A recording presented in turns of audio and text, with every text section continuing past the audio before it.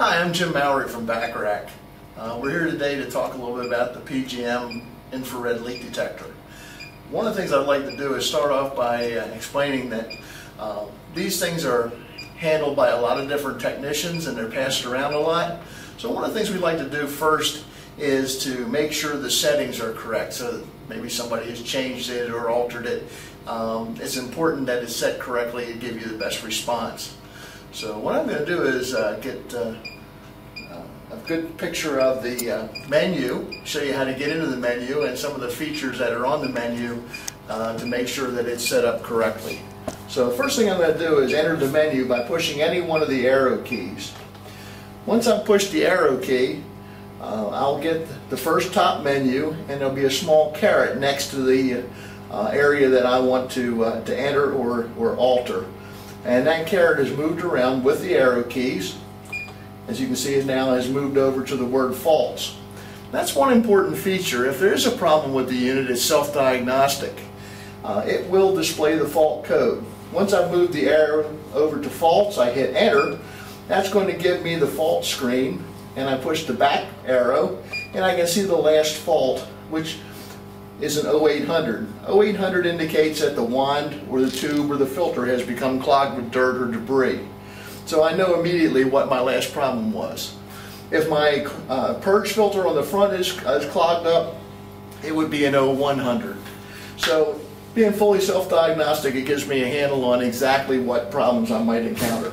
To leave that menu, I just hit the escape silence button.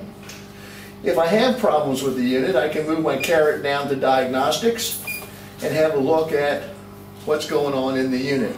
These values would be shared with a technician from Bacharach if there's a problem, and we'd be able to diagnose it over the telephone. Leaving that menu with the escape key again, I can go down, arrow down, and it's next to the word gas type. I can now enter the gas type, and I can change my gas type with my up and down arrow keys. It's on 404A, 407A, there's 38 different gases to choose from.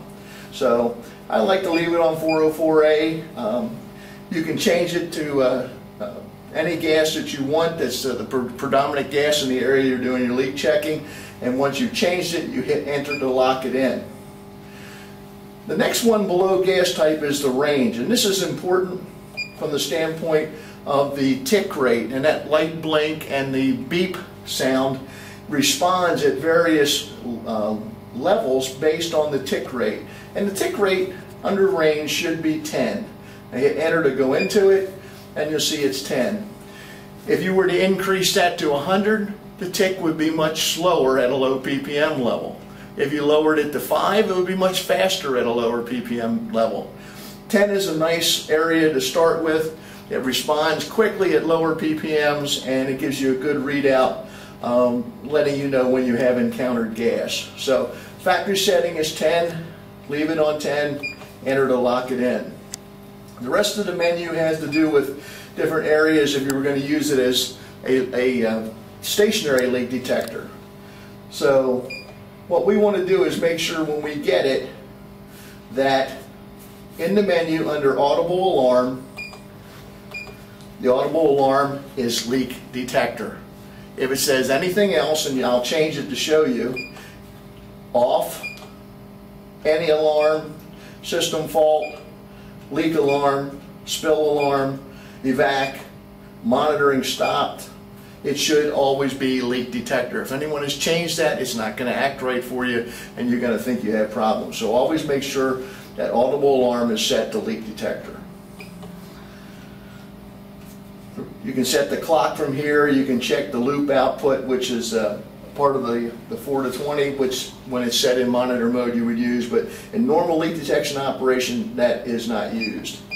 So as I scroll down, I can get back to my main menu, and I hit escape. Once I go to escape, it'll save any changes I made, and it'll purge itself and go back into leak detector mode and start to measure for me. So if you get it, you don't think it's right, or you just want to validate and make sure it's set correctly for you on leak detection, go into that menu and check those settings. Thank you.